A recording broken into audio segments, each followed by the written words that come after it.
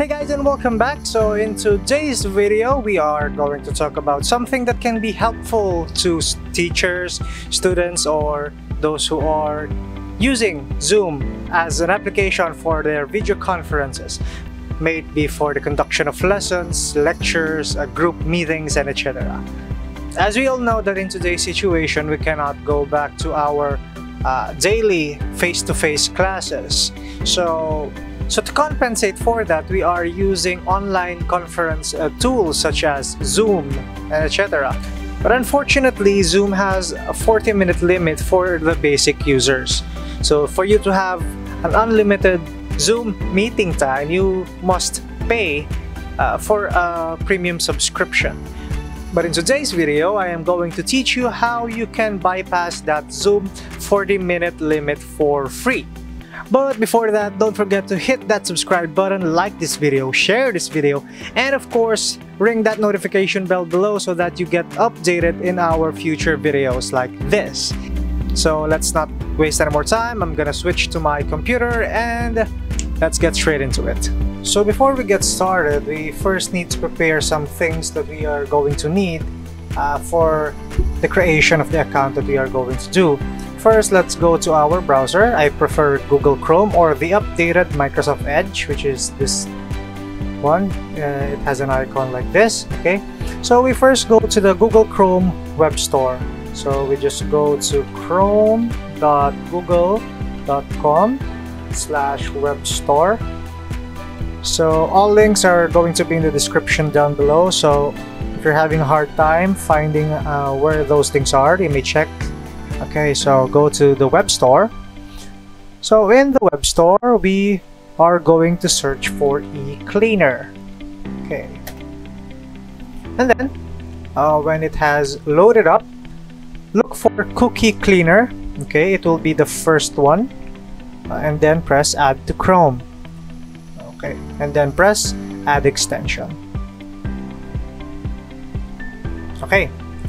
So when that's done, you must see uh, a cookie icon here. But in this case, we don't have it. So what we can do is we press the uh, puzzle icon and then we see cookie cleaner and press the pin right beside it. So let's just click that one. Okay, now we can see that. Now that we have our cookie cleaner, we can now proceed to our uh, account creation. First, we need temporary email address that uh, Zoom will recognize as uh, an email address that it can give the bypass to. Okay, so we need to go to 10minutemail.com in it. Okay,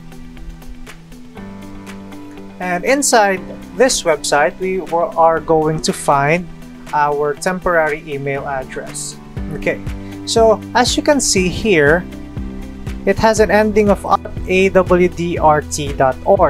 However, Zoom will not grant the, the bypass if the ending of the email is not at ttirv.org or at awdrt.net. So we must find an email address with at ttirv.org or at awdrt.net. So as you can see here, uh, when I restart this one, this one doesn't change. So that is the purpose of the extension that we have downloaded. So first we need to click the extension, okay, and then refresh the page. Okay, so at ttirv.net uh, still doesn't count. So again, press it. So basically we are just going to uh, press the cookie icon, refresh until we get uh, the email address that we want. So again, this one and refresh. Okay, now we found at ttirv.org. So now we can use this uh, email address to create our Zoom account. So now let us go to Zoom. Go to Zoom. Uh, okay, and let us press free sign up. Okay, click that one. So once Zoom has loaded up, we need to copy uh, our email address. So just click this button. Okay, it will copy this one or you can just highlight it and press right click and copy. Then we need to paste it here. Okay, so now let's press sign up. It's free. Now I'm gonna input my birthday. I'll probably censor this one for uh, privacy purposes. Then just press continue. Okay, now uh, Zoom will be needing to confirm the email address that you have given it. So just press confirm. Okay. Now, we must check the 10 minute mail if we have received the email from Zoom. Click it and just scroll down. You can see now that it has please activate your Zoom account. So click that one and just press activate account. Okay. Now, our account is activated. It will ask, are you signing up on behalf of a school? We need to select no and press continue. Okay.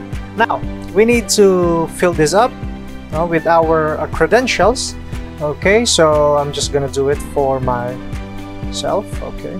And I'm probably gonna blur everything out for privacy again. Okay. And then after that, we just need to press continue. Okay, uh, with this one, we just click skip this step.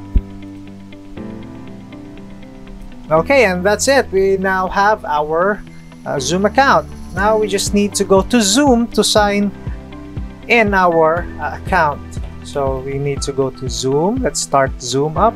In Zoom, we need to press uh, sign in. So now that we are in Zoom, we just need to sign in with the account that we created. Okay, and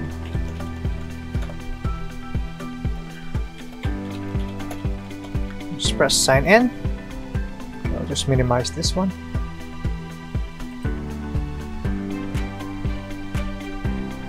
Okay, now as you can see, when I hover in this one, uh, now you can see Zoom is temporarily providing unlimited time meeting services for you during the global COVID pandemic.